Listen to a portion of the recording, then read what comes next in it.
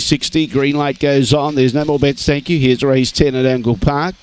Set away. Old mate Levi uh, began okay. He's pushing through, trying to hold the lead, but there's a good turn of speed by Magic Train. Closed straight to the front.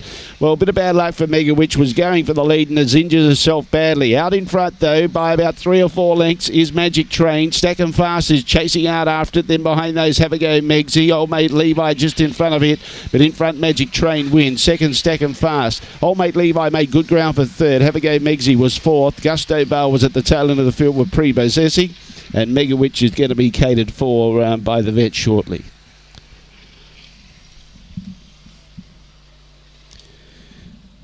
Good start by Magic Train. They've uh, got some money out of that one uh, today.